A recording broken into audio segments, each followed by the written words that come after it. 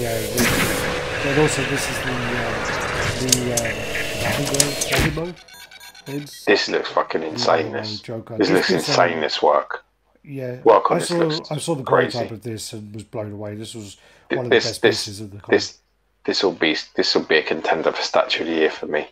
Oh yeah. I think But this is up there. This this is a real masterpiece. One of the things I had to point out, and I say it every single time I see a picture of it, was when I saw this. I mean, I think it has five heads, and it's one of the pieces where the Batman like I looked at, and it had like four or five heads, and I think there was only one or two that I liked. This one, I was looking at every single one. I'm like, they're all absolutely amazing. The one where he Crazy. the batarang in the eye looks ridiculous. And this is and obviously this is in hand, so this is a product, production piece. That one, when I saw that one, um, that was really really nice.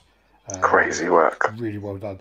Probably one of my up there as one one of my kind of favorite uh, Prime One one third pieces. You know, up there. Yeah, sure. looking at these pictures, I can completely see Yeah. why. One of the ones though, I, I didn't killer. like the Batman Damned because that one that face reminded me of that fucking idiot Sean Sanders. The yeah. face that looks a bit like him. He's got that cunt smirk. So. And he like grimacing or something with his teeth. No, He's, he's kind of like smiling, but he's like, you know, Ah. his teeth showing. That's, yeah, that's ridiculous as well. Just crazy Really work, man. Yeah. Crazy work. So anyone who's got this, Really know, huge congratulations, and uh, yeah, awesome.